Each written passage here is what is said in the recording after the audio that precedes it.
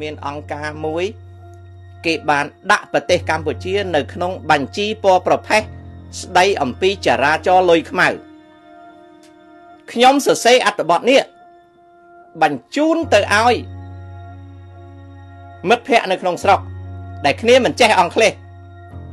ខ្ញុំសរសេរថាម៉េចមើលឲ្យច្បាស់ខ្ញុំសរសេរថាម៉េចណាភាពក្រីក្របន្ត តាមរយៈរបាយការណ៍របស់ស្ថាប័នហិរញ្ញវត្ថុអន្តរជាតិបានឲ្យដឹងថាភាពក្រីក្របន្តធ្លាក់ចុះមានន័យថា poverty is being reduced in Cambodia មនុស្សក្រីក្រចុះទោះបីការធ្លាក់ចុះនេះ មានសភាពយឺតជាងក្នុងឆ្នាំកន្លងទៅក្តីបើយើងមើលលបឿននៃការកាត់បន្ថយភាពក្រីក្រវាមានការយឺត ជាងឆ្នាំមុនមុនតែកម្ពុជា បានទទួលជោគជ័យក្នុងការកាត់បន្ថយភាពក្រីក្រ ហើយភាពក្រីក្រសពថ្ងៃកើតឡើង មិនមែនដោយសារប្រាក់ចំណូលធ្លាក់ទេ ភាពក្រីក្រកើតឡើងដោយសារទំនិញឡើងថ្លៃដែលរាជការត្រូវតែដោះស្រាយរឿងហ្នឹងពីព្រោះទំនិញវាឡើងថ្លៃពេកយើងបានប្រាក់ខែថ្លៃមែនប៉ុន្តែយើងចាយអត់គ្រប់ណាបងប្អូន តែទោះបីយ៉ាងណាក៏ដោយក៏មានការកាត់បន្ថយភាពក្រីក្រដែលអាបបេថោកអត់បានជួយកាត់បន្ថយទេហើយអាអង្គភាពទុច្ចរិតដែលឃោសនាបំបែកបំបាក់ខ្មែរអត់បានកាត់បន្ថយទេ តែវាបានស៊ីចុកបុកតាពីចំណេញពីការកាត់បន្ថយភាពក្រីក្រហើយដោយសារតែកាត់បន្ថយភាពក្រីក្រនឹងហើយបានជាពួកក្រុមអស់នឹងអត់ឈ្នះ ពីព្រោះប្រជាជនមានសេចក្តីសង្ឃឹមទៅមុខអញ្ចឹងហើយបានជាអាក្រមទុច្ចរិតនឹងវាចង់ឲ្យបរទេសមកវាយឆ្នាំងបាយខ្មែរពីព្រោះកាលណាវាយឆ្នាំងបាយខ្មែរទៅប្រជាជនខ្មែររងទុក្ខវេទនាបតោសរាជការហើយបះបោឡើង ដើម្បីវាបានទៅកាន់អំណាចវានឹកថាអញ្ចឹងដូច្នេះហើយវាមិនចង់ឲ្យមានការកាត់បន្ថយភាពក្រីក្រក្នុងសង្គមខ្មែរទេ ពីព្រោះនៅពេលខ្មែរអាចរកបាយហូបបានច្រើនមែនទែនខ្មែរអត់ជឿលើអាទ្រឹស្ដីបំបែកបំបាក់របស់វាទេ ខ្មែរអត់ជឿលើណាអំពើទុច្ចរិតថោកទាបដែលចេះតែលៀបពណ៌ខ្មែរទេណាអានឹងគឺជាចំណុចអញ្ចឹងអញ្ចឹងហើយបាននៅឆ្នាំ2014អត្រានៃភាពក្រីក្រ ដែលមាន13.5% បើធៀបទៅនឹងឆ្នាំ2007មានរហូតដល់47.8%លោកអ្នកគិតមើលឆ្នាំ2007ប្រទេសកម្ពុជាមនុស្ស47.8%ក្រនៅឆ្នាំ2014មនុស្សតែ13.5%ទេក្រដល់បានទេអញ្ចឹងហើយបានជាប្រទេសកម្ពុជាយើង បានអភិវឌ្ឍរហូតទៅដល់គ្មានមនុស្សដាច់បាយស្លាប់ រីឯមុនឆ្នាំ2007ប្រទេសកម្ពុជាយើងមានខ្មែរនិងប្រជាជនរស់នៅក្នុងដែនកម្ពុជារដ្ឋទទួលរងគ្រោះដាច់បាយស្លាប់ហើយក្រោយឆ្នាំ2011ប្រទេសកម្ពុជាយើងអត់ដែលបានសុំជំនួយស្បៀងអាហារពីអង្គការពិភពលោកផ្នែកស្បៀងអាហារទេ after year 2011 Cambodia did not request food supply and assistances from the World Food Organization. Because Cambodia could reduce poverty to the level of 13.5% in year 2014 and Cambodia could be able to produce enough rice to feed her population and conserving a number of tonnage of rice production for the exportation to the international market បានជាអង្គខ្មែរនឹងទៅដល់អឺរ៉ុបមិនមែនដោយសារពួកអាប៉ាបេថោកទេ គឺដោយសារការខ្នះខ្នែងនៃអ្នកចាត់ផែនការ និងអ្នកចាត់ការនៃសេដ្ឋកិច្ចរដ្ឋកម្ពុជា បានអំណោយផលកាត់បន្ថយភាពក្រីក្រ ដែលនៅក្នុងឆ្នាំ2017មាន47.8%មនុស្ស100នាក់មនុស្ស47នាក់នៅនៅនៅធ្លាក់ខ្លួនក្រក្រោមបន្ទាត់ក្រីក្ររហូតដល់ឆ្នាំ2014ដែលប្រទេសកម្ពុជា បាននៅសល់ភាពក្រីក្រ តែ13.5%ទេ ទូរភិកអត់បាយហូបត្រូវបានកាត់បន្ថយជាស្ថាពរហើយប្រទេសកម្ពុជាអាចនឹងផលិតស្រូវអង្គរផ្គត់ផ្គង់អាហារដល់ប្រជាជនខ្លួនឯងរហូតដល់នៅសល់អង្គររាប់តោនដើម្បីនឹងដឹកចាញ់ទៅទីផ្សារបរទេសហើយនេះមិនមែនជាស្នាដៃរបស់ពួកអាបាបេថោកទេ ហើយក៏មិនមែនជាស្នាដៃរបស់ពួកមនុស្សល្ងីល្ងើដែលចាំតែបន្ទោសដែរគឺជាស្នាដៃរបស់ជនជាតិខ្មែរភាគច្រើន ដែលស្រឡាញ់នឹងយកឱកាសសន្តិភាពសេរីភាពរបស់ខ្លួនដើម្បីធ្វើមិនមែនពួកអាអាដាក់ឈ្មោះថាសហជីពទៅបើកមាត់និយាយចាក់រុកឲ្យបរទេសមកបំផ្លាញខ្មែរមិនមែនពួកអាអ្នកនយោបាយដែលខ្វេះស្រីនៅក្នុងស្រុកខ្មែរ ហើយចេញទៅក្រៅអួតថាយួនពេញស្រុកមិនមែនពួកអាបបេថោកដែលទៅដកបកគលព្រំដែនឲ្យប្រជាជនស្លូតត្រង់ជាប់គុកទេស្ដាប់ឲ្យបានកុំច្រឡំរៀនសេដ្ឋកិច្ចឲ្យច្បាស់សេដ្ឋកិច្ចមិនអាចកសាងនៅក្នុងពេលដែលប្រទេសមានសឹកសង្គ្រាមទេនឹងឲ្យយល់ កុំចាញ់បោកនៅការឃោសនាទុច្ចរិតកុំចាញ់បោកនៅការឃោសនាបំបាច់ខ្លួនឯងជាពិសេសកូនក្មួយដែលចូលមកជេរខ្ញុំខ្លួនឯងបានរស់នេះមិនដឹងឆ្នាំងបាយខ្លួនឯងមិនដឹងតយោទឹកខ្លួនឯងមិនដឹងខ្យល់អីមកឯងប្រជាធិបតេយ្យរយខ្មោចអីខ្លួនឯងអត់ទាំងដឹងចេះគោរពគេផងណាណាប្រាថ្នាទេព there are many who knows about the situation of Cambodia that's why I pinpoint only a number of people especially Apabe Thao ណាប្រាថ្នាទេពឯងដឹងពីបញ្ហាកម្ពុជាដូចខ្ញុំទេបើដឹងមិនក៏មិនចាញ់ live show ដើម្បីវែកញែកទៅឧទាហរណ៍ដោយប្រាថ្នាទេពឯងនិយាយថាកម្លាំងទាំង3ហ្នឹងគឺជាឫសគល់នៃការរុញកងទ័ពវៀតណាមចេញពីកម្ពុជាមើលនិយាយមើល ចលនាស្រីការជាតិពី75មកណាកើតរបៀបម៉េចបើមិនចេះទេសួរអ៊ូអ៊ូសោតដូចសោតធေါ်អញ្ចឹងអ៊ូអាចនិយាយប្រាប់ដូចចម្រើន ព្រះបរិត្តអញ្ចឹងពីព្រោះអីពីព្រោះវានៅក្នុងឡាតែតរបស់អ៊ូពីព្រោះអីពីព្រោះអ៊ូនៅក្នុងបញ្ហាហ្នឹងតែប្រាថ្នាទេពឯងគ្រាន់តែសើសើកុំមកនិយាយដើម្បីគ្រាន់តែនិយាយណា មើលពី75មកចលនាស្រីការជាតិនៅព្រំដែននឹងកើតយ៉ាងម៉េចមានប្រមាណក្រុមហើយដល់ពេល79ហ្នឹងវៀតណាមវាយចូលកម្ពុជាហ្នឹងវាកើតស្អីនៅក្នុងទល់ដែនបើមិនចេះសួរខ្ញុំណាកុំនិយាយរវើរវាយបញ្ហាកម្ពុជាមនុស្សច្រើនណាស់ដឹងបើនិយាយពីបញ្ហានៅកម្ពុជាមនុស្សច្រើនណាស់ដឹង ប៉ុន្តែមនុស្សច្រើនណាស់អត់និយាយអាដឹងហើយអត់និយាយបានប្រយោជន៍ស្អីហើយអាដឹងហើយនឹងអត់កត់ត្រាទុកបានប្រយោជន៍ស្អីហើយអាដឹងហើយណាអត់ព្រមចែកចាយកូនចៅឲ្យយល់ដឹងនឹងបានប្រយោជន៍អីអញដឹងហ្នឹងជេមសុកឯងក៏និយាយអញដឹងហ្នឹងអញដឹងទាំងអស់ហ្នឹងជេមសុកឯងបំរើហ៊ុនសែនដែរអញដឹងទាំងអស់ហ្នឹងបានប្រយោជន៍អី ចាំទៅងាប់ទៅណាបន្ទាប់មកទៀតខ្ញុំអត់ជឿអាអ្នកដឹងនឹងទេណាខ្ញុំប្រាប់ខ្ញុំអត់ជឿអាមនុស្សដែលនិយាយថាដឹងនឹងទេពីព្រោះភាកច្រើនវាដឹងអត់ដងដឹងមិនបានវាដឹងអត់ដងទេពីព្រោះវាអត់ហ៊ាននិយាយអាមនុស្សដែលដឹងច្បាស់គេតែងតែហ៊ាននិយាយបើគេនិយាយមិនចាញ់ខ្លាចគ្រោះថ្នាក់គេសរសេរនិខេតប្របាត់ ហើយគេដាក់ឈ្មោះដងបកាទៅគេបោះពុំចេញទៅ ប្រាថ្នាយល់ទេណាប៉ុន្តែអាអ្នកដឹងអត់ដងហ្នឹងណាសូមបីតែសរសេរវាអត់ហ៊ានសរសេរផងអ្នកលោកអ្នកមើលលោកអ្នកមើលណាឃើញខ្ញុំសរសេរទេនេះឃើញទេគឺខ្ញុំសរសេរទេណាខ្ញុំចម្លងមកខ្ញុំសរសេរខ្ញុំធ្វើបទនិពន្ធណាឥឡូវខ្ញុំបង្ហាញទៀត ណាឃើញខ្ញុំសរសេរទេណានៅពេលនេះនេះនេះគឺជាអត្ថបទមួយដែលខ្ញុំសរសេរទុក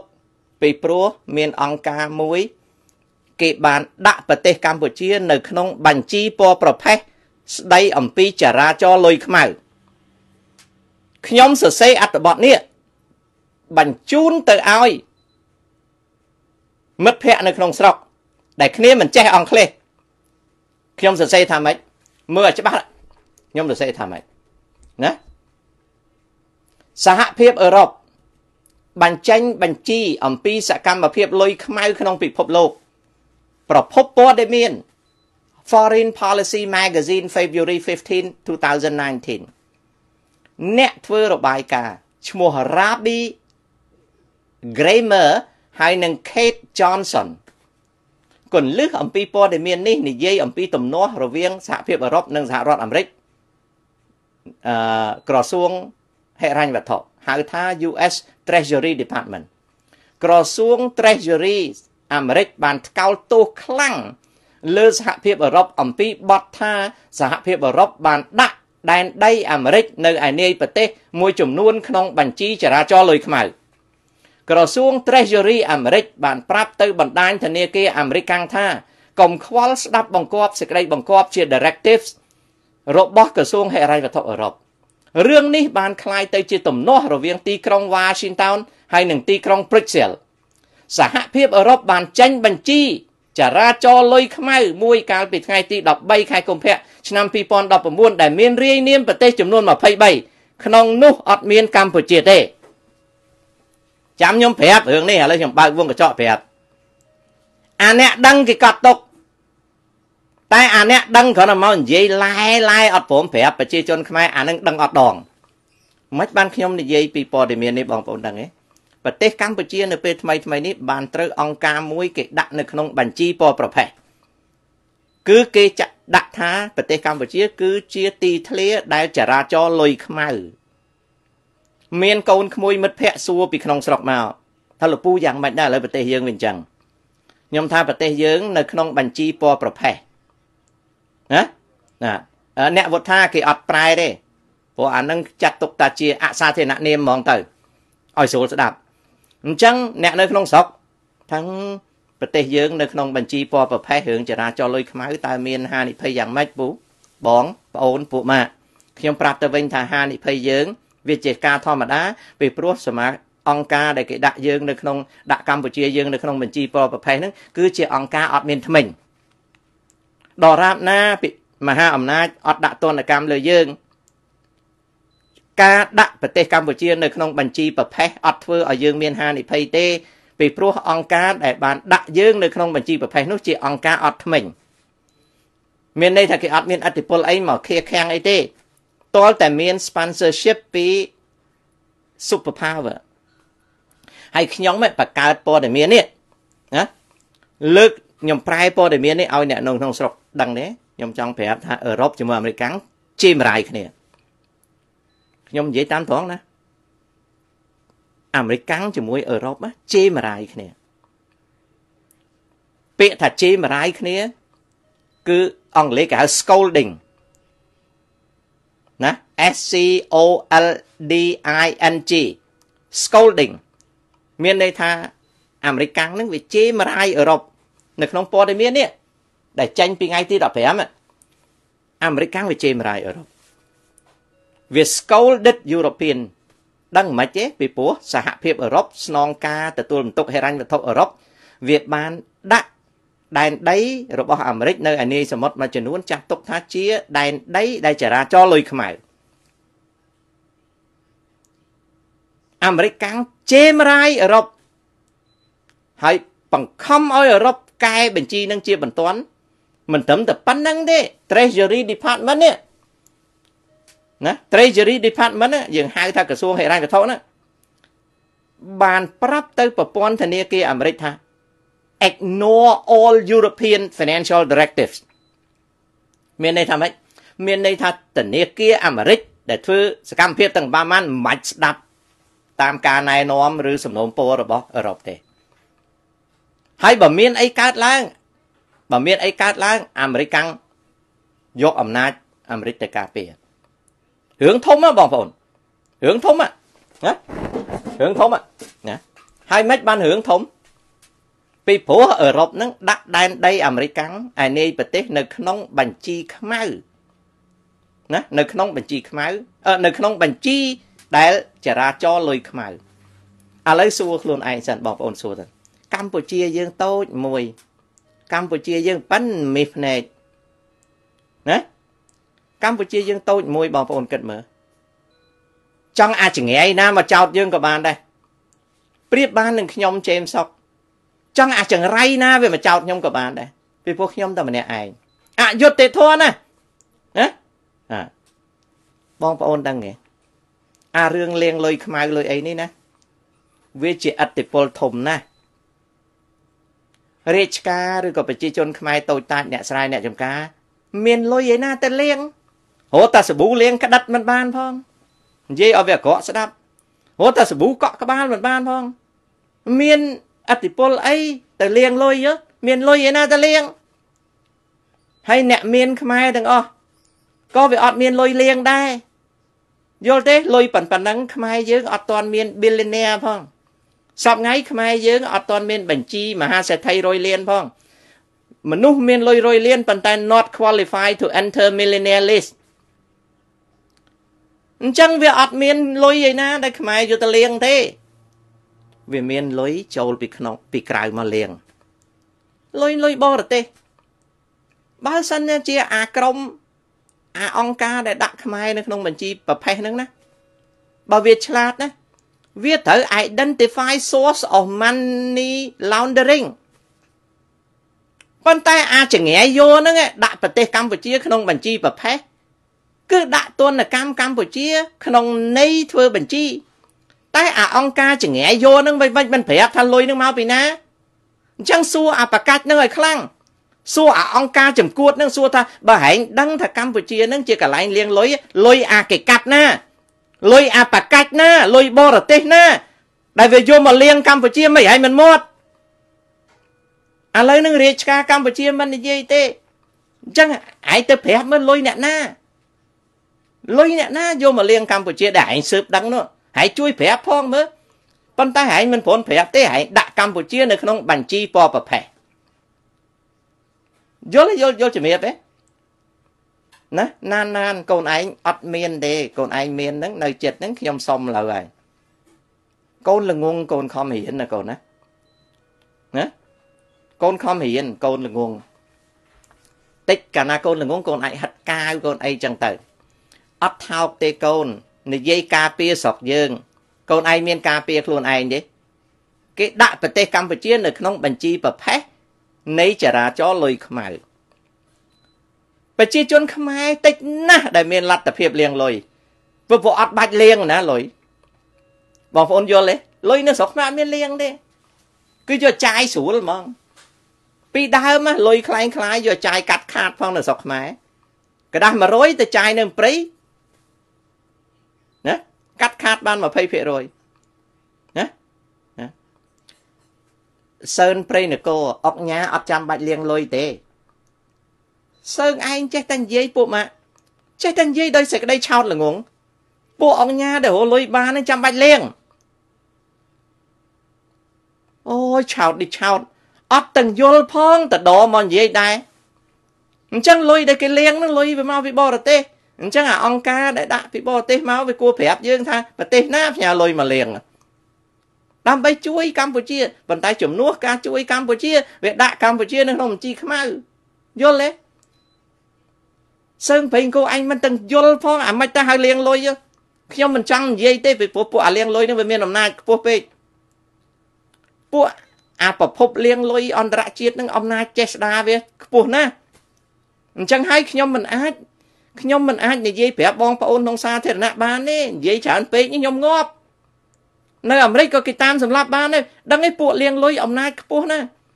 អង្គញាខ្មែរចាំបាច់លៀងលុយអីចាំបាច់លៀងលុយអីឥឡូវនេះអ្នកដែលមានលុយនៅក្នុងប្រទេសកម្ពុជាណាវាក្រោម1000លានណាហើយសេដ្ឋកិច្ចកម្ពុជាវាជា dollarize economy អញ្ចឹងចរាចរណ៍លុយនៅក្នុងប្រទេសកម្ពុជាវា65%ទៅ72%ដុល្លារ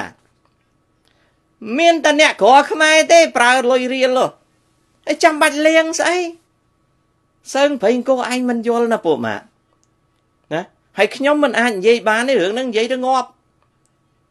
នៅអាមេរិកក៏ដោយក៏ពួកហ្នឹងមិនស្លាប់ដែរពីព្រោះប៉ះពាល់ផលប្រយោជន៍គេធំណាស់ខ្ញុំប្រាប់ណាពួកអ្នកលៀងលុយមានអំណាចខ្លាំងណាអាចរំលំរដ្ឋាភិបាលបានណាលុយគេច្រើនណាស់យល់ទេ ដូច្នេះហើយយើងដែលជាអ្នកក្រីក្រនឹងរៀនយល់កុំល្ងងតាមតែគេកុំល្ងងតាមតែគេបោកបើគេដាក់កម្ពុជានៅក្នុងបញ្ជីប្រភេទនៃចរាចរណ៍លុយខ្មៅកម្ពុជាខ្លាយទៅជាអ្នករងគ្រោះដោយសារតែគេអត់យកចិត្តទុកដាក់ទេកម្ពុជា181,035គីឡូម៉ែត្រកាឡារាជការប៉ុណ្ណឹងទប់ជាមួយពួកលៀងលុយអត់បានទេយល់នៅ យល់ទេខ្ញុំមិនមែនកាន់ជើងកម្ពុជាអំពើអាក្រក់ទេខ្ញុំភ័យខ្លាចមាតុភូមិយើងហ្នឹងត្រូវគេជន់តបកាច់ងាប់ទៅខ្ញុំអាយុ63ឆ្នាំហើយបន្តិចទៀតខ្ញុំងាប់ហើយហើយខ្ញុំដឹងរឿងហ្នឹងខ្ញុំចង់ប្រាប់ខ្មែរថាអូយកុំភ្លឺតាមគេពេកណាយើងចេះតែយកដៃគក់ទ្រូងអាណាចោតថាយើងខុសយើងគក់ទ្រូងគក់យូរយូរទៅងាប់ខ្លួនឯងណាក្រំឈាមងាប់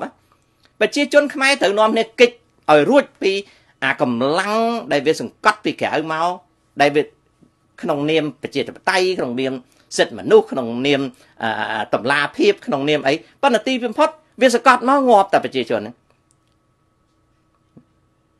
ណាដូច្នេះរឿងលៀងលុយរឿងអីខ្ញុំដឹងបងប្អូនខ្ញុំសិក្សាមានចាំទេខ្ញុំតែងតែនិយាយនៅក្នុង live show ខ្ញុំខ្ញុំថាមនុស្ស7000នាក់7000លាននាក់ជាង នៅក្នុងពិភពលោកនេះមនុស្ស1%កាន់ក្តាប់ទ្រព្យសម្បត្តិនិងធនធានពិភពលោកជាង50%មនុស្ស30%កាន់ក្តាប់ធនធានក្នុងពិភពលោក70 95%មនុស្ស70%ចែកគ្នាឆៃក្នុងអំណោយផលនៃធនធាននិងទ្រព្យសម្បត្តិពិភពលោកតែ5%បងប្អូនដឹងខ្ញុំនិយាយរឿងនឹងច្រើនដងហើយមានចាំទេមានចាំទេបងប្អូនមានចាំទេខ្ញុំខ្ញុំតែងតែនិយាយរឿងហ្នឹងបងប្អូនមានចាំទេ ទី1ខ្ញុំថាបញ្ហាយើងដោះស្រាយបានទី2អ្វីយើងចង់បានអ្វីដែលយើងមានខុសគ្នាអឺទី3អ្វីដែលយើងនឹកក្នុងវណ្ណកម្មវិទ្យាសាស្ត្រមនុស្សអាចធ្វើបាន ទី4មនុស្ស7000លានអ្នកជាងនៅក្នុងលោកយើងនេះមនុស្ស1%នៃ7000លានអ្នកជាងហ្នឹងក្តាប់ទ្រព្យសម្បត្តិក្នុងលោកហ្នឹង50%ហើយមនុស្ស30%មនុស្ស30%ក្នុងពិភពលោកក្តាប់ណា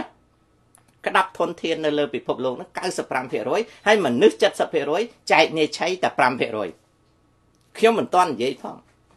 ណាបងប្អូនដឹងឯនៅក្នុងលោកយើងទាំងមូលនេះនៅក្នុងលោកយើងទាំងមូល in the world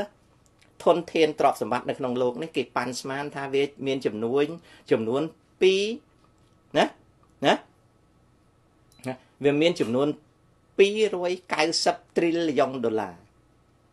នៅក្នុងពិភពលោកហ្នឹងណាទ្រព្យសម្បត្តិទាំងអស់ក្នុងលោកហ្នឹងគេធ្វើការសន្និដ្ឋានវាស្មើនឹងសាច់ប្រាក់290 trillion ដុល្លារអូខេនៅក្នុងពិភពលោកយើងនេះ មានក្រុមហ៊ុនចាត់ចែងមូលធន ដែលគេហៅមហាយៈមហាយៈមហាយៈដែលចាត់ចែងមូលធននៅក្នុងលោកនេះ ចាត់ចែងនៅទ្រព្យសម្បត្តិមូលធននៅក្នុងលោកនេះវាមានតែ17ក្រុមហ៊ុនទេលោកអ្នកខ្ញុំបញ្ជាក់ឥឡូវខ្ញុំបើកវងកញ្ចក់និយាយឲ្យស្ដាប់បន្តិចប៉ុន្តែកូនក្មួយពិបាកយល់ពីព្រោះតលតែមាន financial knowledge banking knowledge economic knowledge បានយល់នៅក្នុងពិភពលោកយើងនេះណាក្រុមហ៊ុនមហាយៈដែលទទួលខុសត្រូវខាងចាត់ចែងទ្រព្យសម្បត្តិពិភពលោកនោះមានតែ17ក្រុមហ៊ុនទេ មានតែ17ក្រុមហ៊ុនទេហើយ17ក្រុមហ៊ុនហ្នឹងចាត់ចែងទ្រព្យសម្បត្តិក្នុងពិភពលោកហ្នឹងស្មើនឹងសាច់ប្រាក់55 trillion ដុល្លារណា55 trillion ដុល្លារអញ្ចឹងលោកអ្នកយក290 trillion ដុល្លារដក55ទៅនៅសល់ប្រហែលក្រុមហ៊ុន17ក្រុមហ៊ុនណាជា sub ជា Global Super Giant Asset Management Company ដែលគ្រប់គ្រងលើទ្រព្យសម្បត្តិពិភពលោក ស្មើនឹងសាច់ប្រាក់55 trillion ដុល្លារតែ17ក្រុមហ៊ុនទេអញ្ចឹងយក290 trillion ហ្នឹងដក55ចេញហើយយក55 trillion ហ្នឹងទៅធ្វើប្រភាគនឹង290តើក្រុមហ៊ុន17នៅក្នុងโลกនេះវាកាន់ក្តាប់ជីវិតពិភពលោកប្រមាណភាគរយ កុំនិយាយលេងណាហើយក្រុមហ៊ុន17ហ្នឹងគេហៅថា Global Super Giant Asset Management Company ហ្នឹងណាវាមាន manager តែ17នាក់ទេហើយ manager 17នាក់ហ្នឹង28%ជាអាមេរិកាំងក្រៅពីនឹងជាអន្តរជាតិមានអាស៊ីនិងអឺរ៉ុបអូខេហើយ manager របស់ Global Super Giant Asset Company ហ្នឹងណាវាជិះកប៉ាល់ហោះទៅណាទៅណីកប៉ាល់ហោះវាយ៉ាងតិច350លានដុល្លារដែលជាកប៉ាល់ហោះមានកៅអីតែ10ទេ ជា private jet ដែលមានតម្លៃជាង350លានដុល្លារវាហោះជុំវិញពិភពលោកវាមានការិយាល័យវាសំខាន់នៅលើពិភពលោកនៅលើបណ្ដាប្រទេស39អូខេហើយពេលប្រជុំទាំងអស់ កិច្ចប្រជុំទាំងអស់នៅក្នុងពិភពលោកកិច្ចប្រជុំអង្គការសហតាទាំងអស់នៅក្នុងពិភពលោកអង្គការណាក៏ដោយពួក manager នឹងចូលទៅពាក់បលាយកជា special advisor ដែលអង្គុយនៅពីក្រោយខ្នងមេដឹកនាំមហាអំណាចនឹងប្រទេសជាតិអត់និយាយមួយម៉ាត់ទេគ្រាន់តែអង្គុយកងតាក់ខ្លាពាក់បលាយកជាទីប្រឹក្សាពិសេសតែទីប្រឹក្សាពិសេសនឹងមានអធិពលជាងប្រធានាធិបតីទៀត ហើយ17នាក់ហ្នឹងគេចង់ឲ្យសង្គ្រាមផ្ទុះនៅតាណាផ្ទុះនៅតានឹងគេចង់ឲ្យសន្តិភាពនៅតាណានៅតានឹងគេចង់ឲ្យអាលាយតាណាអាលាយតានឹងគេចង់ឲ្យជោតាណាជោតានឹងគេចង់ឲ្យជន់តាណាជន់តានឹងតែ17នាក់ទេអូខេគេក្តាប់ទឹកប្រាក់55 trillion ដុល្លារ1 trillion ដុល្លារស្មើ1000 billion 1 billion ស្មើ1000លានកូនក្មួយ សូម្បីតែខ្ញុំរាប់រាប់តែមិនចាញ់ផងនេះខ្ញុំប្រាប់ឲ្យដឹងហើយក្រោមអា17នេះក្រោមអា17ក្រោមអា17 17ក្រុមហ៊ុនហ្នឹងណាក្រោមអា Global Super Giant Asset Management Company ហ្នឹងក្រោម17ហ្នឹងមានក្រុមហ៊ុន ដែលស្ថិតិឆ្នាំ2017ខ្ញុំមើលនៅក្នុងស្ថិតិ Financial មាន202ក្រុមហ៊ុន ដែល202ក្រុមហ៊ុនហ្នឹងត្រួតត្រាលើសាច់ប្រាក់41.75 trillion ដុល្លារអូខេខ្ញុំយក calculator មកគិតសិនគិតវាមិនចាញ់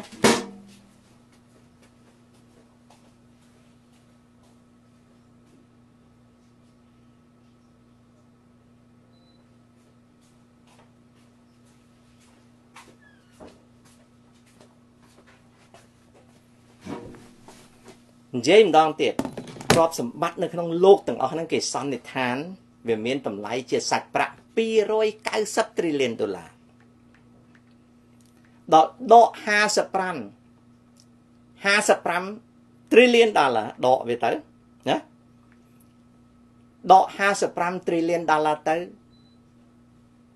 ហើយដក42 trillion ដុល្លារទៀត វានៅសល់193 trillion dollar អញ្ចឹងគ្រាន់តែក្រុមហ៊ុន17បូកនឹង200មានន័យថាក្រុមហ៊ុន219ក្រុមហ៊ុនវាកាន់កាប់ទ្រព្យសម្បត្តិនៅក្នុងពិភពលោកអស់មិនតិចទេណាណាលោកអ្នកគិតមើលមើលហើយឥឡូវយើងនៅសល់193 ណាយើងយើងយើងយកអា200អា290ហ្នឹងណាយើងដកណាយើងយកអា290ហ្នឹងណាយើងដក55យើងដក42ហើយយើងនៅសល់193 trillion dollar បន្ទាប់ពីអាក្រុមហ៊ុន17បូក202ហ្នឹងវាកាន់គេហៅថា Super Giant and super giant ណាណាទេអាអានិយាយហ្នឹងអត់មានអត់មានគ្រោះថ្នាក់ដល់ជីវិតទេរិទ្ធីជាព័ត៌មានដែលឲ្យយល់ប៉ុន្តែអារឿងគេលៀងលុយខ្ញុំមិនហ៊ាននិយាយទេខ្លាចងាប់ខ្លាចងាប់មិនបានជួយខ្មែរអារឿងគេលៀងលុយនិយាយបានទេណានិយាយគេមកច្រឡាប់ចោលហ៎កុំនិយាយនិយាយណាអញ្ចឹងបានថាយើងនៅតប៉ែតប៉ែអត់ដឹងទេចេះចោតគ្នាស្លាប់គ្នាយើងចេះចោតគ្នាដូចដូចយើងដូចយើងស្វាអញ្ចឹង យើងអត់ដឹងរឿងរបស់គេរឿងគេអំណាចធំធំយើងទប់គេមិនបានទេខ្ញុំចង់និយាយពីអ្នកក្តាប់ពិភពលោកពិភពលោកទាំងមូលនឹងមានទ្រព្យសម្បត្តិស្មើនឹង290 trillion ដុល្លារក្រុមហ៊ុន17ណាក្រុមហ៊ុន17ក្រុមហ៊ុន will take charge of the global wealth នឹង55 trillion ដុល្លារហើយនៅក្រោមក្រុមហ៊ុនហ្នឹងគេហៅថា Global Giant Asset Management Company ដំបូងគេហៅថា Global Super Giant ខ្មែរប្រែថាមហាយៈក្រុមហ៊ុនមហាយៈដែលទទួលខុសត្រូវលើធនធានពិភពលោក17បន្ទាប់មកមាន212ក្រុមហ៊ុន គេហៅថា Global Giant Asset Management Company ស្ថិតិឆ្នាំ2017វា202 202នឹងទទួលខុសត្រូវ41.75 trillion ដុល្លារអញ្ចឹងយើងយកអា2នឹងបូកគ្នាទៅដក290ចេញនៅសល់193 trillion ដុល្លារអូខេនៅក្នុង193 trillion ដុល្លារហ្នឹងមានក្រុមយៈមួយទៀតគេហៅថាមហាយៈប្រេងនិងអូស្មန်គេហៅថា big oil គេប្រើពាក្យធម្មតាទេ big oil ណាដូច្នេះហើយ big oil ហ្នឹងប្រាក់បើយើងនិយាយជាភាសាខ្មែរឲ្យងាយយល់គេហៅថាក្រុមហ៊ុនមហាយៈខាងប្រេងឆៅហើយនិងអូស្មန်ដែលសពថ្ងៃហ្នឹងមានតែ8ក្រុមហ៊ុនទេ មានក្រុមហ៊ុនចិន2ក្រៅពីហ្នឹងមានក្រុមហ៊ុនអឺរ៉ុបអឺរ៉ុបហើយនិងអាមេរិកខាងពីដើមឡើយមាន5ក្រុមហ៊ុន តែឥឡូវហ្នឹងមាន8ក្រុមហ៊ុនហើយ8ក្រុមហ៊ុនហ្នឹងវាកាន់កាប់ទ្រព្យសម្បត្តិពិភពលោកស្មើនឹង15 trillion ដុល្លារអញ្ចឹងយើងយក193ណាណាយើងយក93ហ្នឹងយើងដក15ទៀតណាយើងយក193ហើយយើងដក15ទៀតវានៅសល់178 trillion ដុល្លារ អាក្រុមហ៊ុន8ហ្នឹងវាមាន5ដល់10 trillion អូខេពីព្រោះវាកាន់បាតសមុទ្រវាកាន់ដែនអាកាសវាកាន់ប្រទេសគេសពគ្រប់ទាំងអស់អូខេនឹងស្ដាប់ឲ្យបានដល់ពេលយើងនៅសល់178 trillion ដុល្លារហ្នឹងណាវាត្រូវចែកគ្នាតាមធនាគារមហាអំណាច ដែលធនាគារមហាអំណាចហ្នឹងណាគ្រាន់តែជារណសេជួមុខដែលកាន់កាប់លុយហ្នឹងទេកាន់កាប់ធនធានហ្នឹងទេប៉ុន្តែក្រោយពីធនាគារមហាអំណាចនឹងមានប្រព័ន្ធគ្រប់គ្រងពិភពលោកអូខេអញ្ចឹងទាំងអស់ហ្នឹងវានៅក្នុងដៃមនុស្ស30%ណានៅក្នុងដៃមនុស្ស30%អញ្ចឹងយើងយកបើយើងយក 290 trillion ដុល្លារហ្នឹងយើងមកគុណស្មើនឹង5%ណាមានន័យប្រហែលជា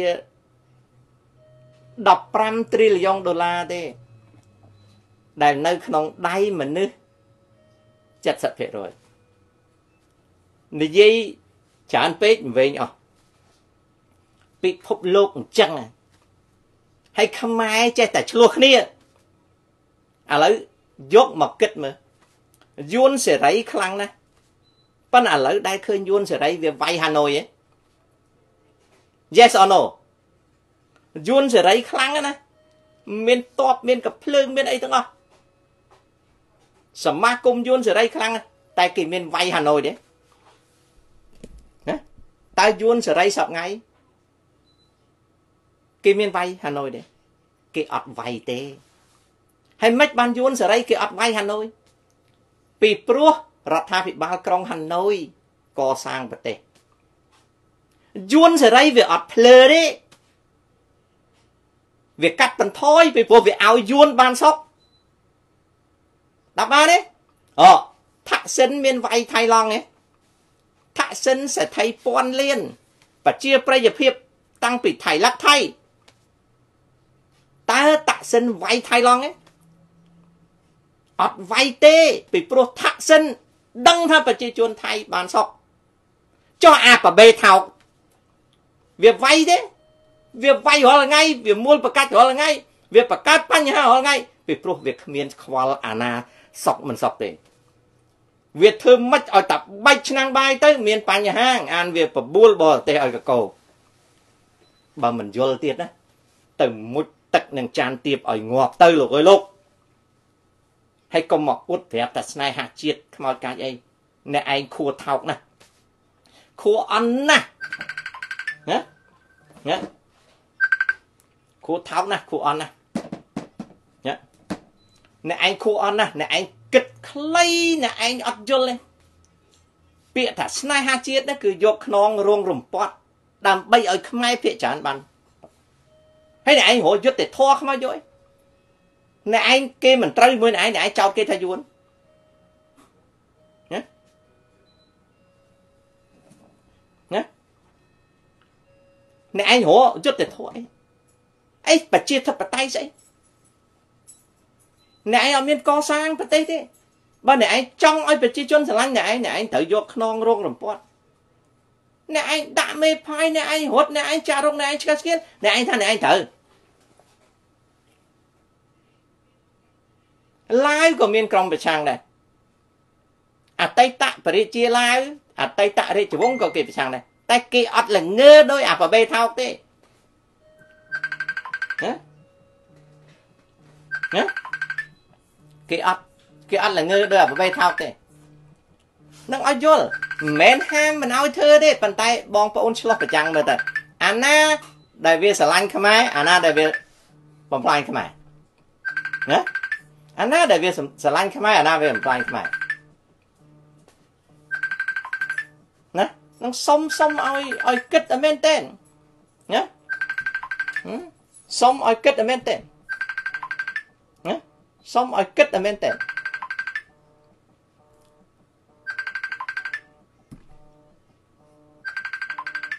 ណាសុំឲ្យគិតតែមែនទេណាកុំឲ្យកុំ ឲ្យចេះតែយកមកនិយាយស្នេហាជាតិប្រជាធិបតេយ្យស្នេហាជាតិប្រជាធិបតេយ្យអាមមុងអីបើមកធ្វើឲ្យគេអត់បានសុខហើយវាទៅបន្ទោសអ្នកដតីថាអ្នកដតីនេះបង្កើតបញ្ហា វាគ្រាន់តែចង់បានអំណាចសម្រាប់កប៉ៅវាសម្រាប់ខ្លងរបស់វា គ្នាតិចហ្នឹងណាវាយករឿងហ្នឹងទៅឲ្យបញ្ហាហើយបើសិនជាបងប្អូនកូនក្មួយនៅតែមិនយល់ទេអាហ្នឹងចប់ អានឹងចប់ហើយចប់ហើយកូនក្មួយដែលចូលមកជេរខ្ញុំបើកូនឯងក្មួយឯងមិនយល់ទៀតកូនឯងក្មួយឯងចប់ហើយយួនសេរីធំមែនតើឥឡូវគេអត់មាត់មួយម៉ាត់ទេពីព្រោះគេទុកឲ្យវៀតណាមកសាងរាជវង្សឡាវគេអត់និយាយមួយម៉ាត់ទេហើយឥឡូវពួកម៉ុងអត់និយាយមួយម៉ាត់ទេឃើញពួកម៉ុងឈប់ទេឃើញពួកម៉ុងឈប់ទេ ឥឡូវនេះម៉ុងគេចង់ឲ្យឡាវនឹងបង្កើតការទទួលស្គាល់សិទ្ធិជនជាតិដើមហើយគេរស់ជាមួយឡាវពីព្រោះគេចង់កសាងប្រទេស គេមិនចង់នោមឈរទៀតទេនិយាយអស់ទៅអូខេតាក់សិនគេមានប្រជាប្រិយភាពបោះឆ្នោតពេលណាក៏ឈ្នះពួកអាម៉ាតដែរគេសុកចិត្តនៅស្ងៀមហើយចុះយើងមានអាមនុស្សល្អអញ្ចឹងទេ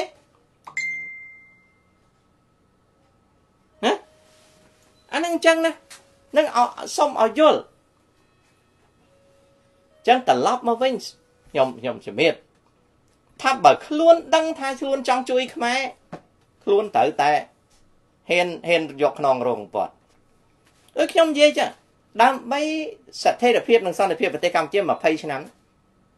ក្រុមណាក៏ដោយអាចធ្វើបានយកខ្ញុំទៅស្លាប់ខ្ញុំប្រកាសជាសាធារណៈ ខ្ញុំសុកចិត្តឲ្យសម្លាប់ខ្ញុំធ្វើម៉េចឲ្យខ្មែរបានរស់20ឆ្នាំ Fair is that a fair betting I don't mind to let you kill me as long as you can as long as you can make Cambodia at peace for just 20 years យកខ្ញុំទៅស្លាប់ភួរកក៏បានកាត់ក្បាលក៏បានជាសាច់ក៏បានដែរខ្ញុំសុកចិត្តឈឺអូខេអានឹងជាសន្តានចិត្តរបស់មនុស្ស អារឿងខុសរឿងត្រូវខ្ញុំមិនមែនភ្លើណារឿងតូចរឿងតាចខ្ញុំមិនមែនដឹងណាណាតែបើសិនជាអាចឲ្យបានសុកខ្ញុំសុកចិត្តយកយកខ្ញុំទៅងាប់ទៅកាប់ស្លាប់អីទៅទៅអូខេតែបើអត់មានសន្តានចិត្តទេអានឹងទុច្ចរិតហ่ะបើអត់មានសន្តានចិត្តទេអានឹងគំនិតទុច្ចរិតទេ ពីព្រោះមនុស្សយើងណាបើស្រឡាញ់ខ្មែរណាវាតល់តែយើងនឹងដូចជាកូនគីចៅចឹងកូនឯងហ៊ានហ៊ានហ៊ានហ៊ានហ៊ានចេញមុខស្លាប់ដូចខ្ញុំឯងកូនកូនឯងអត់ហ៊ានទេណាកូនឯងហ៊ានទេហើយកូនឯងបានសុកដោយសារខ្ញុំទេចុះបើខ្ញុំទៅជាអបបេថោកវិញកូនឯងរត់តែកាហ្វេផឹកមិនបានផង ពេលព្រោះអាឡ័យរត់លូនអាឡ័យតែវេទនាដូច្នេះអត់ទេកូនពេលនេះកូនឯងមិនយល់ថ្ងៃក្រោយកូនឯងយល់ណាកូនឯងអត់មានទោសទេនឹងអញ្ចឹងជាចំណុចមួយអញ្ចឹងសន្តិភាពណាសន្តិភាពគឺជាចំណុចអញ្ចឹងនៅក្នុងណានៅក្នុងសភាពដែលប្រទេសកម្ពុជាយើង នៅក្នុងសភាពដែលប្រទេសកម្ពុជាយើង កាត់បន្ថយភាពក្រីក្រនៅឆ្នាំ2014មកនៅត្រឹម13.5%យើងមិនចង់ឲ្យ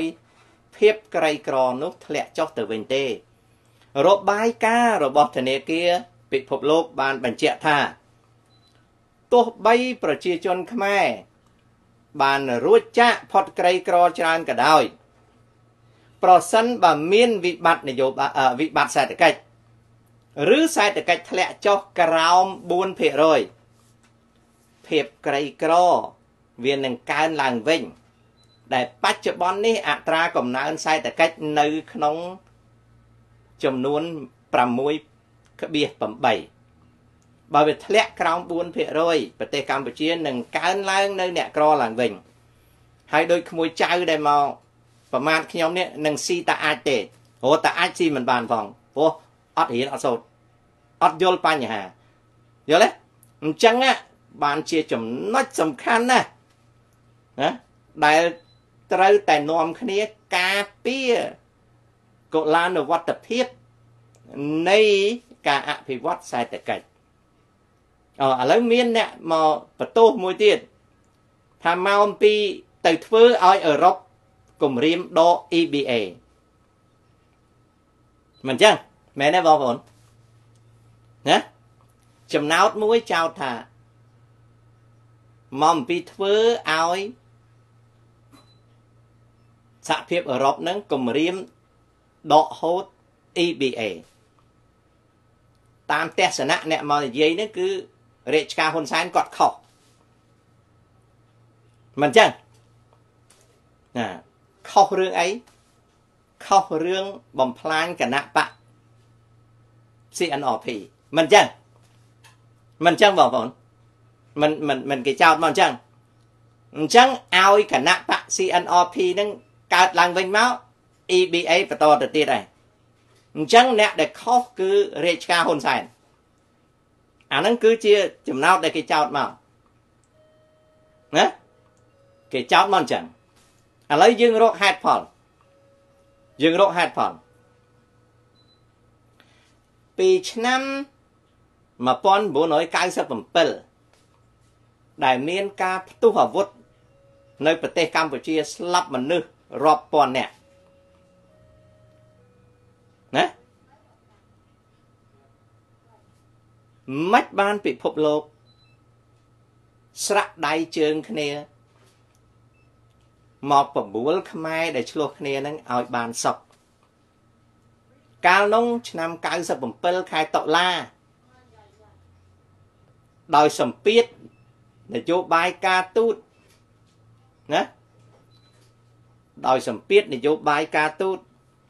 ណាដែលសម្ពាធនយោបាយការទូតរបស់សហរដ្ឋអាមេរិកធ្វើឲ្យដកអាសនៈអង្គការសហជីវជាតិនៅកម្ពុជាអឺដកអាសនៈកម្ពុជានៅអង្គការសហជីវជាតិ ទោះបីអាមេរិកដកអាសនៈកម្ពុជានៅអង្គការសហជីវជាតិក៏អាមេរិកអត់ដាក់ទណ្ឌកម្មសេដ្ឋកិច្ចលើកម្ពុជាទេកាត់ជំនួយមួយចំនួនប៉ុន្តែអត់អត់ដាក់ទណ្ឌកម្មសេដ្ឋកិច្ចលើកម្ពុជាទេមិនបានគេអត់ដាក់កាលនោះរឿងធំណាស់កក្កដា97កើតរឿងធំណាស់មកដល់98មិនបានគេអត់ដាក់ពីព្រោះអន្តរជាតិយល់ឃើញថាខ្មែរនៅអត់ទុកចិត្តគ្នា អញ្ចឹងគេចង់ដឹកដៃខ្មែរឲ្យជាជានាគ្នា គេគ្រាន់តែដកអាសនៈកម្ពុជានៅអង្គការសហជីវជាតិដើម្បីកុំឲ្យបន្តទំនាស់ហើយគេឲ្យខ្មែរវិលចូលទៅបោះឆ្នោតឡើងវិញអូខេកាប់ស្លាប់ប៉ុណ្ណាក៏ដោយគេដោះស្រាយឡើងវិញហើយអាមេរិកកាំងអត់ដាអត់បានដាក់ទណ្ឌកម្មសេដ្ឋកិច្ចលើកម្ពុជាទេ ហើយចុះឥឡូវនេះក្រោយថ្ងៃទី16ខែវិច្ឆិកា ឆ្នាំ2017កើតការរំលាយគណៈបកសង្គ្រោះជាតិតើអឺរ៉ុបយល់ឃើញថាស្ថានភាពនៅប្រទេសកម្ពុជានឹងត្រូវដោះស្រាយរបៀបម៉េចបានជាចេញសេចក្តីសម្រេចចិត្តមួយរបស់សភាអឺរ៉ុបមកថា ឲ្យលែងកម្មសុខាឲ្យសង្គ្រោះជាតិកើតឡើងវិញឲ្យមន្ត្រីមូលដ្ឋានបានតំណែងឡើងវិញឲ្យសភាមន្ត្រីតំណាងរាស្ត្របានតំណែងឡើងវិញសួរថាសេចក្តីសម្រេចចិត្តរបស់សភាអឺរ៉ុបហ្នឹងមានភាពប្រកបនិយមទេចម្លើយថាអត់មានភាពប្រកបនិយមទេមិនបានអត់មានភាពប្រកបនិយមពីព្រោះតើមានទៅសិក្សាមើលទេ បញ្ហានយោបាយដែលដល់ថ្នាក់អាលាយគណៈបកសង្គ្រោះជាតិវាមកពីអីអានឹងហើយជាសេចជាការកាត់សេចក្តីរបស់សភាអឺរ៉ុបដោយខ្វះការពិចារណាដាក់បានទេដល់បញ្ហាដែលសម្រេចដោយសភាអឺរ៉ុបនឹងមកដល់ស្នងការ មានមនុស្សមួយក្រុមតូច ដែលស្ដាប់ការចាក់រុករបស់សមាសភាពមួយទៀតណាដោយសារតែស្ដាប់តាមការចាក់រុករបស់សមាសភាពនឹងផងនឹង political agenda របស់មនុស្សនៅក្នុងស្នងការអឺរ៉ុបនឹងផងក៏បង្កើតឲ្យមានការសម្រេច pure EBA ជាបណ្ដោះអាសន្នលើកម្ពុជាណាបានទេណា អញ្ចឹងណាអ្នកស្ដាប់ដែលជំទាស់ខ្ញុំដែលខ្ញុំថានិយាយថាខ្ញុំនិយាយវល់វល់ហ្នឹងណាសិក្សាឲ្យអាលាក្បាលខ្លួនឯងយល់ឲ្យច្បាស់ប្រហែលជាពាក្យ EBA ហ្នឹងមិនទាំងយល់ផងណាអញ្ចឹងបញ្ហាដែលកើតឡើងពី2017វាអត់ត្រូវពន្យាពេលដល់សប្តាហ៍ថ្ងៃនេះទេវាត្រូវដោះស្រាយបានហើយ ក៏វាមិនធ្ងន់ធ្ងរដូចបញ្ហា97ដែរអ្វីដែលកើតឡើង2017វាអត់ស្មើនឹងការកើតឡើងនៅ1997ទេហើយចុះបើវាកើតឡើងធ្ងន់ធ្ងរនៅឆ្នាំ1997អន្តរជាតិនៅផ្ចង់ផ្ដើមការចរចាការសម្រុះសម្រួលបានហេតុដោយមិនដេចបានជាសហភាពអឺរ៉ុប បណ្ដោយឲ្យសភាហើយនឹងស្នងការឈានដល់កម្រិតនេះអញ្ចឹងវាអត់ត្រឹមត្រូវដូចគ្នា ពីព្រោះសហភាពអឺរ៉ុបណាមានមតិមួយទៀតគេថាកម្ពុជាមិនអាចបង្គាប់បញ្ជានឹងហើយកម្ពុជាមិនអាចបង្គាប់បញ្ជាលើអឺរ៉ុបបានទេប៉ុន្តែជាស្មារតីទំនាក់ទំនងអន្តរជាតិបើអឺរ៉ុបនឹងធ្វើអញ្ចឹង អាស៊ានក៏គេដឹងដែរថាអឺរ៉ុបជាមនុស្សដែលអត់យោគយល់គ្នាអញ្ចឹងដល់មករកស៊ីលើគេ មករកស៊ីជាមួយអាស៊ីអាស៊ានអាស៊ានក៏គេប្រយ័ត្នប្រយែងដែរដូចខ្ញុំនិយាយចឹងអាមេរិកកាំងជាមួយអឺរ៉ុបជេរមរាយគ្នា ដោយសាររឿងលុយខ្មៅអញ្ចឹងឆ្លើយប្រាប់ថាម៉េចឆ្លើយប្រាប់ថានៅក្នុងដែនដីរបស់សហរដ្ឋអាមេរិកវាមានចរាចរណ៍លុយខ្មៅ ហើយក៏ឆ្លើយបញ្ជាក់ថាណាណាឆ្លើយបញ្ជាក់ថាអឺរ៉ុបក៏មានចរាចរណ៍លុយខ្មៅហើយចុះបើអឺរ៉ុបចរាចរណ៍លុយខ្មៅអាមេរិកមានចរាចរណ៍លុយខ្មៅហើយកម្ពុជាតូចមួយឲ្យគ្នាទៅកិច្ចទៅណា ស្ដាប់តន់នេះស្ដាប់តន់នេះបងប្អូនកម្ពុជាគឺជាប្រទេសទុនខ្សោយ ហើយអត់តន់អភិវឌ្ឍហើយអត់មានច្បាប់ហើយអត់មានប្រសិទ្ធភាពខាងការអនុវត្តច្បាប់នៅឡើយតើកម្ពុជាអាចគេចរួចពីប្រព័ន្ធលាងលុយខ្មៅរបស់ពិភពលោកបានទេ ថាវាអត់បានទេណាបើវាអត់បានទេមកពីអីបានវាអត់បាន ពីព្រោះគ្នាมันអាចបាន ហើយចំណែកឯសហរដ្ឋអាមេរិកហ្នឹងក៏អត់ អាចគេចរួចពីអាការលាងលុយខ្មៅឥឡូវខ្ញុំឲ្យឧទាហរណ៍មួយនៅអាមេរិកណាគេចាប់បានមេកាតែលកាតែលអានឹងគឺថាស្ដាច់ស្ដាច់ក្រុមទុច្ចរិតគឺថាស្ដាច់ចោលហ្មងអានឹងគេហៅកាតែលកាតែលនេះឈ្មោះវាអាស្អីទេខ្ញុំភ្លេចឈ្មោះវាទៅគេចាប់វានៅមិចស៊ីកូនេះណាអានឹងដូចជា El Paso El El El Paso El Papayo អីនេះខ្ញុំមិនសូវយកចិត្តទុកដាក់វាប៉ុន្តែវាជាស្ដាច់ចោលមួយធំគេហៅថាកាតែលគេចាប់វាបានយកមកកាត់ទោសគេស៊ើបដឹងថាវាមានលុយយ៉ាងតិចបំផុត4000លានដុល្លារអាមេរិកកាំងដឹងថាអាមេរត់ពន្ធមេអាភានណាអាអាហ្នឹងឈ្មោះវាអាចាប៉ូអរគុណព្រះកូនណា អាចាប៉ូហ្នឹងវាមានលុយវាលាក់ទុកនៅណាទេចំនួន4000លានដុល្លារហើយលោកព្រឹទ្ធសភា Senator Ted Cruz នៃរដ្ឋ Texas គាត់ចង់ធ្វើច្បាប់មួយឲ្យអាចាប៉ូហ្នឹងសារភាពប្រាប់ប្រភពលុយមកដើម្បីរឹបអូសយកលុយ4000លានហ្នឹងមកសាងចិញ្ចាំង នៅភូមិខាងលិចប្រទេសអាមេរិកអាមេរិកកាំងមិនទាំងដឹងថាលុយ4000លានរបស់អាចាប៉ូនឹងនៅឯណាផង មានន័យថាលុយនឹងអាចនៅលើអាមេរិកហ្នឹងអញ្ចឹងជាសញ្ញាមួយថានៅអាមេរិកហ្នឹងក៏មានលុយខ្មៅដែរហើយចុះបើអាមេរិកដែលវាមានអំណាចប៉ុណ្ណឹងវាចាប់លុយខ្មៅមិនបានទេ ហើយឲ្យស្ដាត់ហ៊ុនសែនទៅចាប់លុយខ្មៅឯណាបានអំបល់យោហើយមិនអញ្ចឹងយល់ខ្ញុំនិយាយទេបងប្អូនយល់ទេទៅសង្ឃឹមឲ្យប្រទេសកម្ពុជាដល់កំសត់មួយចាប់លុយខ្មៅឯណាបានបាទអាមេរិកកាំងមានសពមានគ្រប់ចាប់តែលុយអាចាប៉ូចាប់មិនបានផងសំហេតុផលទេណាបន្ទាប់មកទៀតបងប្អូនត្រូវដឹង28ប្រទេសនៅអឺរ៉ុប ដែលសពថ្ងៃហ្នឹងរាប់ទាំងអង្គរាប់អង់គ្លេសចូលផងណា28ប្រទេសនៅអឺរ៉ុបលុយរបស់រុស្ស៊ីចរាចរក្នុងទ្វីបអឺរ៉ុបចាប់មិនទាំងបានផងតែចាប់អាណាបាន បងប្អូនដឹងលុយរុស្ស៊ីចរាចរក្នុងអឺរ៉ុបប្រមាណទេយ៉ាងតិចបំផុត1 trillion ដុល្លារមានន័យថា1000 billion ដុល្លារ ហើយ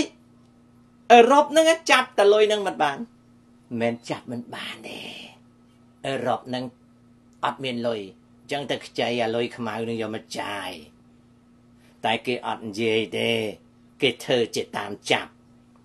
ចាប់ឯណាបានបើរដ្ឋអឺរ៉ុបមួយមួយនឹងយកលុយរបស់ពូទីនមកចាយហើយស្ងាត់ស្ងាត់បងការប្រាក់ឲ្យពូទីនហ៊ានចាប់ពូទីនផ្ញើអា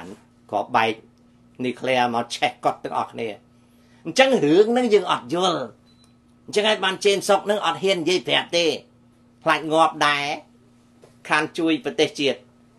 ប៉ុន្តែលុយរបស់ពូទីនរាប់ពាន់លានដុល្លារចរាចរក្នុងអឺរ៉ុបពួកអឺរ៉ុបនឹងវាខ្វាក់អីវាអត់ខ្វាក់ទេប៉ុន្តែវាអត់ហ៊ានចាប់មិនបានវាអត់ហ៊ានចាប់ពីព្រោះ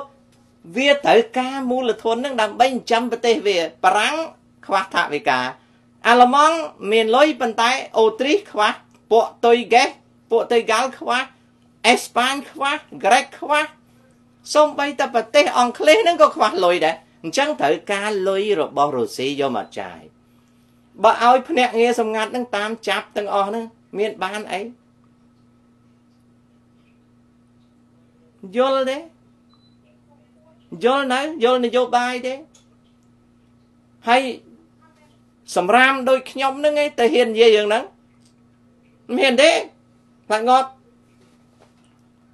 ប៉ុន្តែគ្រាន់តែលួចប្រាប់កូនចៅឲ្យដឹងអើអាហ្នឹងមួយអាហ្នឹងអាហ្នឹងចំណុចលុយខ្មៅណា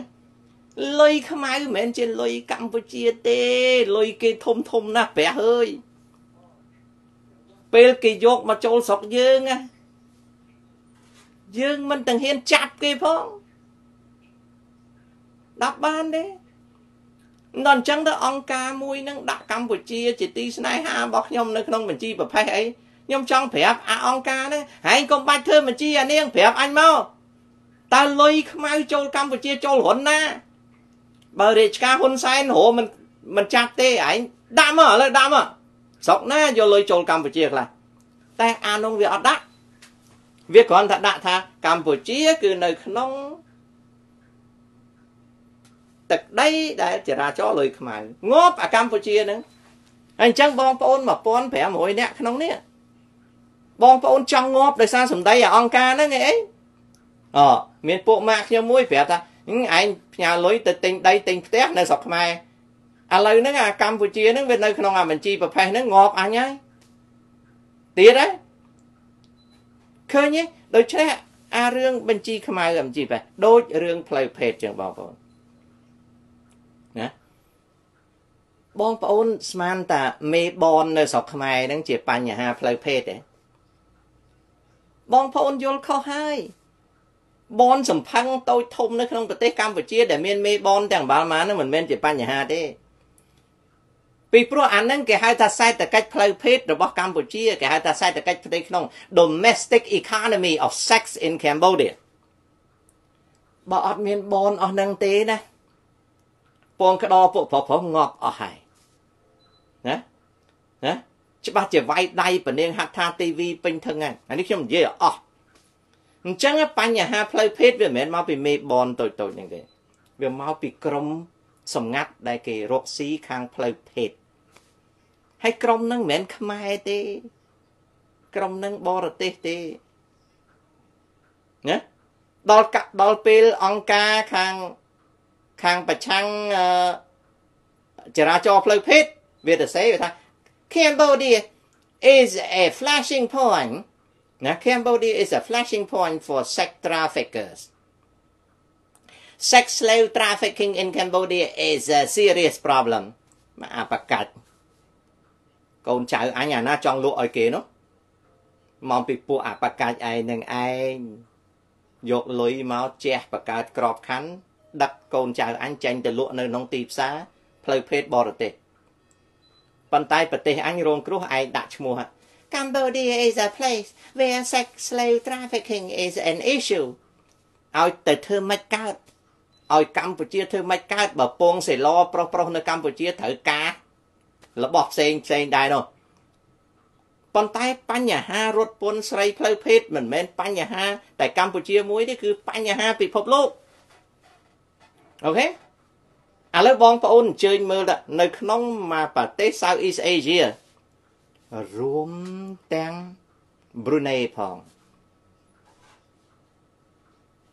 ប្រទេសណាអត់មានបនសំផឹងមើលមើលជួយប្រាប់ខ្ញុំមើលប្រទេសណាអត់មានបនបូកទាំង Brunei ប្រទេសមូស្លីមនេះមានហិទ្ធិច្រើនយល់ទេណា ប្រទេសកម្ពុជាខ្ញុំមិនទាន់ដឹងទេប៉ុន្តែនៅម៉ាឡេស៊ីតាំងពីទសវត្សរ៍ឆ្នាំទី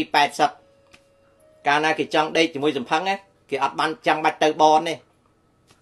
គេទូរស័ព្ទរើងមកមានឡានវ៉ានមួយមកដល់ដេកធ្វើគ្នានៅក្នុងឡានវ៉ាននឹងជុំវិញក្រុងកូឡាលំពួរធ្វើចាប់សពគ្រប់ហើយជូតពងសិឡចុះឲ្យលុយគេចាប់ប្រទេសកម្ពុជាមិនទាន់ដល់ថ្នាក់នឹងផងនឹងឲ្យយល់យើងរៀនយល់បញ្ហារបស់យើង ណាអញ្ចឹងបញ្ហាសេដ្ឋកិច្ចរបស់កម្ពុជាគឺពឹងទៅលើសេចក្តីសុខរបស់យើងហ្វីលីពីនអីក៏មិនបាច់និយាយខ្ញុំទៅអស់ហើយខ្ញុំហើយអ្នកដើរលើកលែងតែប្រុយណេមួយនេះខ្ញុំទៅពីរដងក្រៅពីនេះខ្ញុំដើរអស់ហើយណាណាកូនក្មួយឯងផ្កើនបានប៉ុន្តែកូនក្មួយឯងអត់យល់បញ្ហាបើយើងមិនយល់បញ្ហាអត់កើតទេកូនណាអញ្ចឹងអារឿងដាក់ កម្ពុជានៅក្នុងបញ្ជីលុយខ្មៅអីធ្វើបាបកម្ពុជា គួរណាស់តែចាំខ្ញុំប្រាប់ណាបើអាមេរិកកាំងឃើញកម្ពុជាជាចំណុចចរាចរណ៍លុយខ្មៅ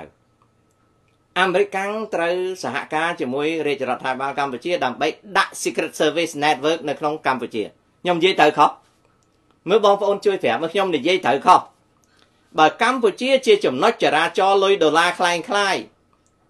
ភ្នាក់ងារសម្ងាត់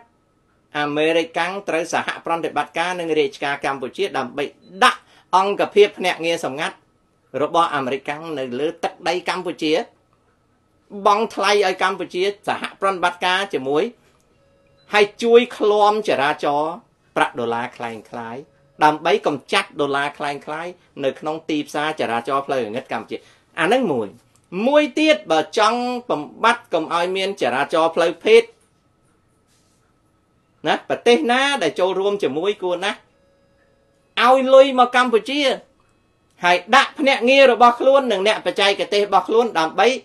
បង្កើតយន្តការកាត់បន្ថយចរាចរណ៍ទេសកលផ្លូវភេទយល់ទេយល់ចំណុចហ្នឹងទេអាហ្នឹងអញ្ចឹងអាហ្នឹងត្រូវយល់អញ្ចឹងអូឥឡូវហ្នឹងបើប្រទេសកម្ពុជាคล้ายទៅជាចរាចរណ៍គ្រឿងញៀន Drug Enforcement Agency របស់អាមេរិកត្រូវសហការចុះកុងត្រាជាមួយប្រទេសកម្ពុជាបញ្ជូនអង្គភាព DEA របស់អាមេរិកទៅឈរជើងនៅលើទឹកដីកម្ពុជាដើម្បីឃ្លាំមើលចរាចរណ៍គ្រឿងញៀនអានឹងគេធ្វើតែអញ្ចឹងណាណាគេធ្វើតែអញ្ចឹងគេអត់មានធ្វើអ្វីហួសពីហ្នឹងទេ បើប្រទេសកម្ពុជាជាប្រភពលក់ដូរសភាវុធខុសច្បាប់គេត្រូវបញ្ជូន FTA ពីអាមេរិកទៅដើម្បីទៅដោះស្រាយអានោះគឺជាមធ្យោបាយដោះស្រាយ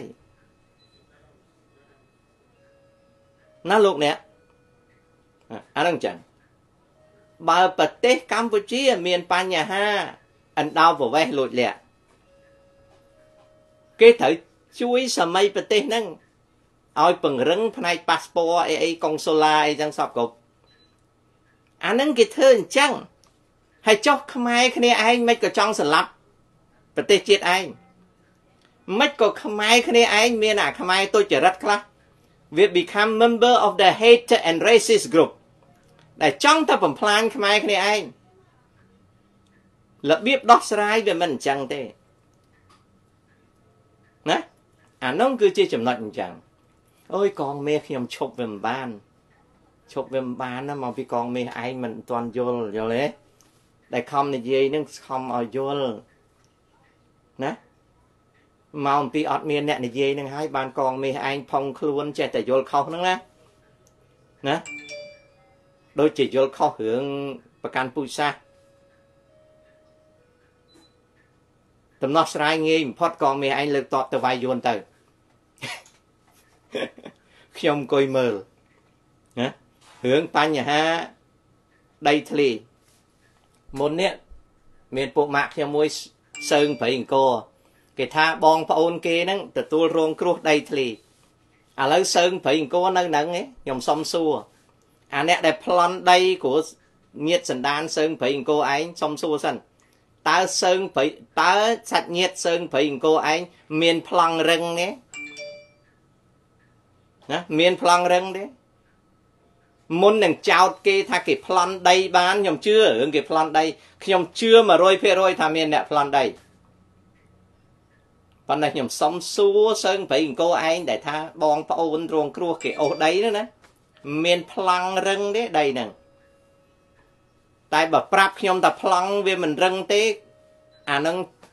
អាអ្នកប្លន់ក៏ខុសអាម្ចាស់ដីក៏ខុសខុសទាំងពីរ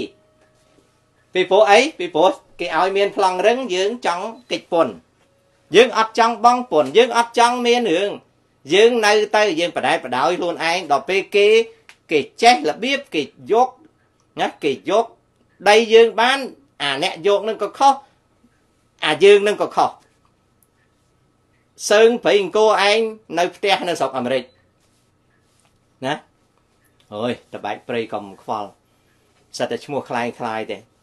ហើយណាមួយទៅចូលច្រើនអញ្ចឹងទៅជួយខ្ញុំ